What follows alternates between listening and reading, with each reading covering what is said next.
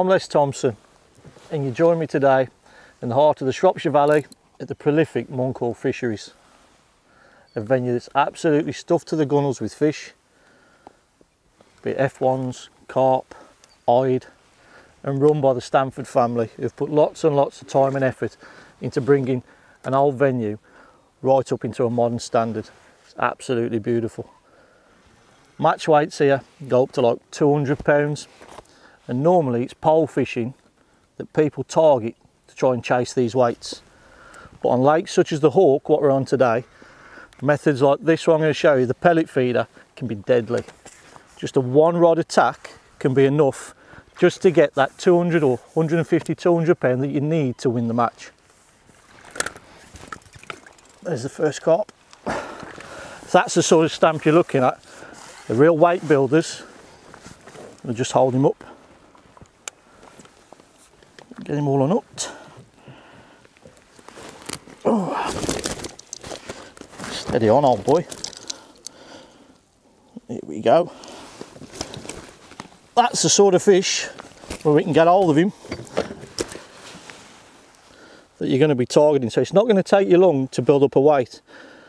But the method and the pellet feeder are often seen as just throwaway methods to either start a match or just find a little bonus fish. So I'm going to show you a few things that'll be able to take you from the start to the end of the match with one rod to get that first place. Right then, so if you're going to put all your eggs in one basket, all your faith in one attack, your setup's got to be right. So let's just have a look at mine. We've got a 4000 size reel. It's not the biggest chuck in the world, but it's the size of reel that I like to use. We've got an eight pound main line. It's a heavy sinking line, so it's going to get in, get down straight away, so it's not going to lay on the surface, get me a nice connection to the tip. And this is one of the little rods that I love using at this moment in time, the Garbolino Essential 10 foot method feeder. Wonderful through action. It's got a lot of backbone in it, but as soon as the rod starts to compress and the fish are underneath your feet, it absorbs every single lunge. And that's what you need when you're playing these really feisty little F1s and carp, when the bigger fish moving, just to stop them diving back underneath your pallet. It has happened a few times, but it happens to us all. Uh, and it just basically lets you stay in full control of your fish. So we come away from the main line, breaks it down to these little beauties, the pellet feeder. Now I tend to sway towards the pellet feeder, purely and simply because it offers me the similar sort of control that if I was approaching to fish that island, that sort of approach with a pole. If that was in 13 metres an angler was to set up to fish there, he'd have two or three lines and he'd be tapping out with a little kinder pot, just tapping and bring a couple of fish in, a couple of fish in, a couple of fish in. And that's the way I like to do things as opposed to throwing a method feeder out and getting lots of particles in straight away and creating a real frenzy. So I want to keep everything under control. So I've got this small method feeder. I have got in different sizes, which I'll talk you through later. And then I've got an 017 hook length and then a 14 hook with a little band. Just but I've got a selection of hook lengths, which I'll talk you through again. And it's just, that's it basically. it Works on a little feeder bead so I can interchange the hook lengths. It's a dead simple setup, but it has to be the right setup. And for me, that's a perfect little blend of all the components that you're going to need. it's like I say, that one rod attack to get you over the line. Lots of fish, hopefully. but it's crazy. Some of the bites have just been just little, a little drop back as they've run and kited away. Then other bites have been dead aggressive and just gone. Pff. Mean, that one straight away, banged and hit the clutch, which is set. Feels like a better fish actually. So we'll just get him back and then I'll talk you through I prepare micros. It's dead basic, but there's so much out there, or two minutes, 30 seconds. It varies from fishery to fishery with the pellets and the different brands they use. It varies from the pellets that you can buy on the shelf.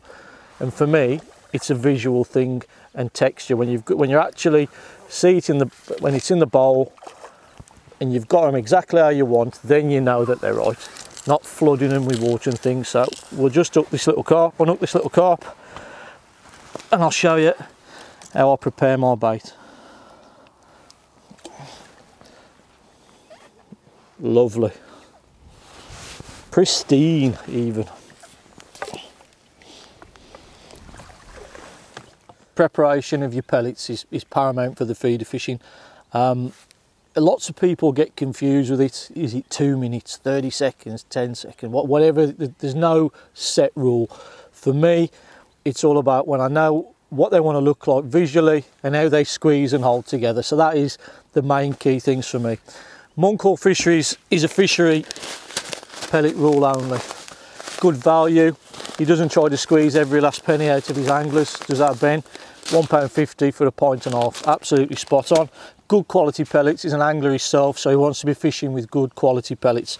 If I could use my own, again, another low oil, good quality pellet, what I use is the bag and range, two mils. But I can't use those because it's a fishery rules only. So, back to preparing them. Dead simple. Some people use wetters and different things. It just confuses confuses stuff but it's it is key that you don't want a big ball of stodge. You just want them so they just use their own. They take on enough water and use their own stickiness and that just to stick and stay in the feeder enough so you can cast them maintain their integrity so they're going to work out when they hit the bottom of the lake. So they're in the bowl and we're just going to flood them flood them clean out. Loads of water simple as bit of a stir around get the ones that are floating off the surface. That's it. And literally we're going to leave that. Well you just see the water start to discolour as the, the outside starts to take it off. So you see the film starts to build. Bit of a stir around. Done. Now you can either put them in a strainer or the old landing net. Everyone carries I mean this one's a bit extreme for what we're fishing here but Ben likes to provide all his anglers with his own nets and everything he looks after his fishery so he don't have diseases so I'll just pour them all in the strainer. Simple as.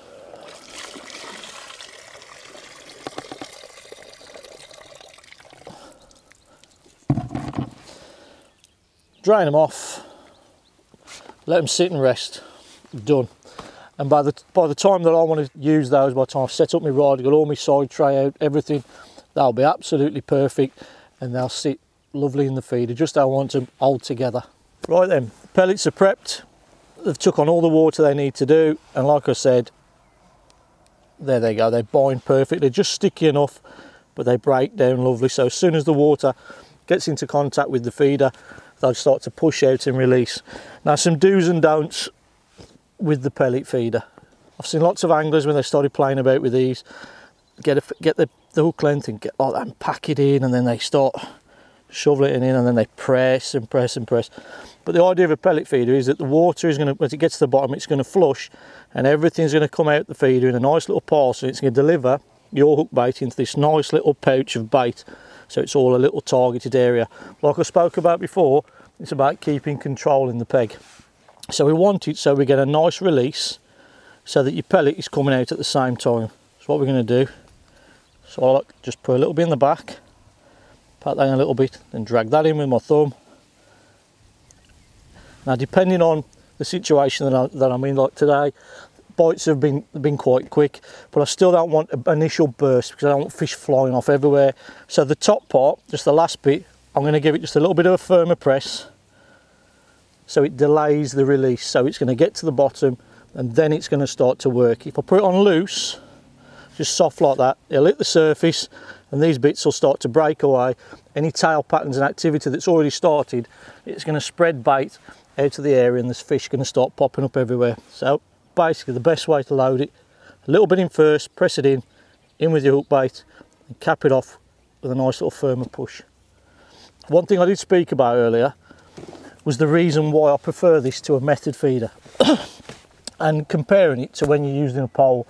And if you look at exactly the amount of feed content that we get when we're using a pellet feeder compared to a pot, I'll just show you now. So you've got a cad pot. So imagine you're going over, if that island was close, you'd be tapping out pellets frequently. So that's a small cad pot. Some people use them in summertime, but in winter time generally, but there we go. So we've got that sort of quantity of pellets in the corner of that box. So the size of the pellet feeder we're using, it's just that, what we've got in there with the hook bait, just get it about right. Yep, So there's some sort of a, keep keep them back separate. A similar sort of comparison of what we're trying to achieve. So like I say, frequent casting, building it up nice and steady, switching between independent lines from one point to the other, rotating, keeping fish ticking over, trying to stop a frenzied situation.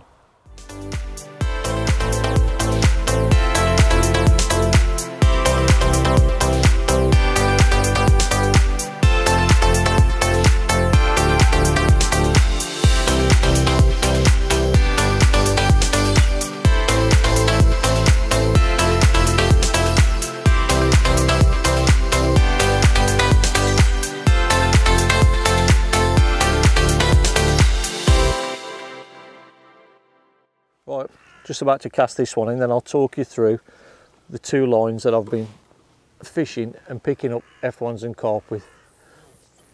One to where that one's just dropped, just say half a metre from the point. Just sink that line, get everything set nice.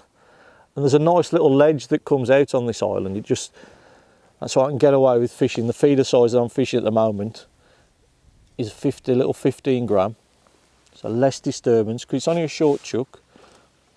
I want to keep everything to a minimum and try and keep all the control in my favour. And I've picked up a few fish there, and when it's just got a little bit too much and it's got a bit iffy, even though there's, there's been plenty of bites to be fair, I'll move then over to the sedge bed where there's that little bit more cover and they feel a little bit more comfortable, rotated the line and picked up a few more fish. But there's been plenty of bites to be had to be fair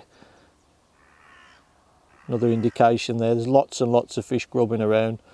But that's the key and the beauty of pellet feeder fishing. And I'll, I'll speak to people and show you this in, in a moment when I show the actual amount of content that's actually inside that feeder as opposed to a pole pot or a method feeder or just your, like your different size cad pots because we all use different sizes and some people tend to get carried away. But these little tiny pellet feeders, like I say, seem to keep everything on our terms which is what we want to do, try and keep as much control as possible. There's a missed bite. Frequency of cast is another thing. You tend, if you were to ship, ship out and miss your bite or lose your pellet, you would quickly put a few more micros in your pot, ship back over, tap them out again. You wouldn't think twice about doing it, but the amount of anglers that you see that will pick up a rod, throw it, sit there, have a cuppa, wait and wait and wait, praying for the rod to go around.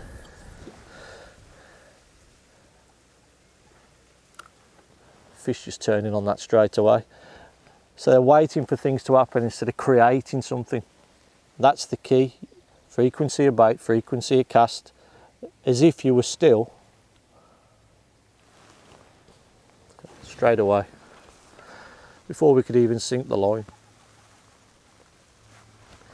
an F1 or a carp. I'm surprised we ain't had any ide today to be fair.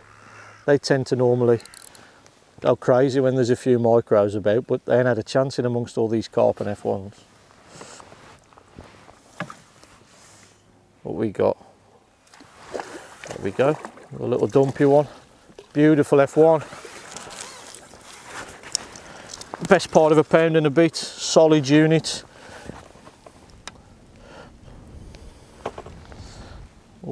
There he is. Another fine Monkhall specimen. Staple on this venue. A little bright white bandam has been the best bait so far. I've alternated different colours, yellows and oranges, but it's tended to get more coloured, more visual of a white or a yellow. But the white has definitely been the one that they've wanted. Just a few more pellets back in the feeder. I'll touch more on the loading of the feeder again later on because that also is important. Lots of people get that wrong by putting the whatever hook bait they have in the wrong position and they don't get the release from the feeder what they need so there's nothing coming out in a neat little pile. The bait can sometimes remain in or they pack it too hard. Just leave a little, little bit more of a tail. Don't wind it too close to your tip when you're going to cast it out. It's only a gentle lob, it's not too much of a, a distance chuck. Nice and steady, slow it down sink the line another one turned again There's some fish there now like I say, it's all about keeping everything in your favour. It's important just to keep that little length of tail when you're going to cast out. Don't get too close to the tip because you'll dart it at the water it'll be you won't be able to control it or move too quick. So just that little gentle lob over, slow it down, rod back, plop. Keep the disturbance to a minimum. Look at that indication straight away. Really is an exciting way of fishing. It's just as good as watching a float bury for me when that tip's doing this and whoa,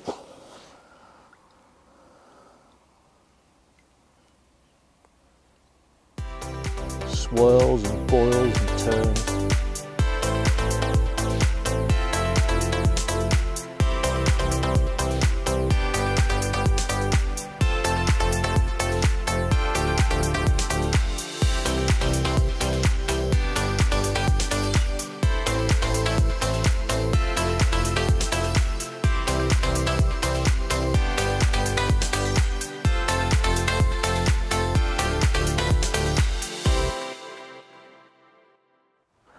Well, as you can see, the peg's gone a little bit hectic over both lines now.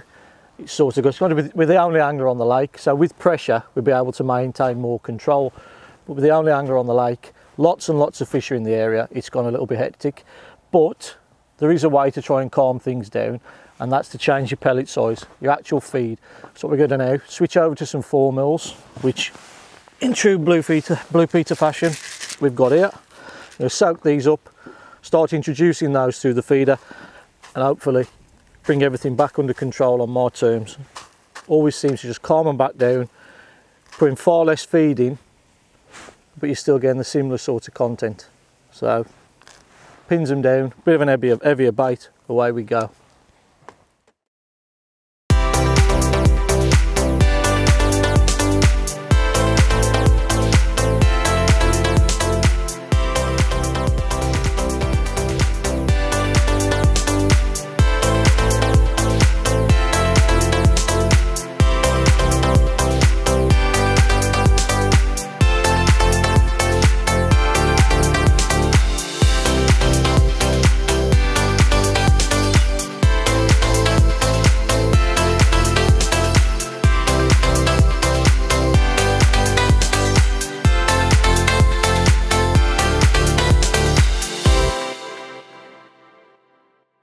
That brings to an end a great session.